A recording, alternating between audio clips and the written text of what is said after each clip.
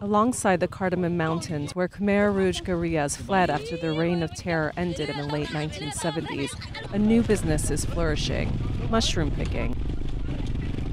Known as barometer earth star, these mushrooms grow in the western part of Cambodia. It's difficult to find these mushrooms. They're really spread out. Though scattered in groups and nestled among the sandy soils where snakes might lurk, the Earth Star mushroom has become a cash crop for hundreds of local villagers who, on average, collect between 4 and 30 kilograms a day and sell them to middlemen. It depends. Sometimes we get one ton of mushrooms a day sometimes 700 800 kilograms. There are about 12 buyers in my area.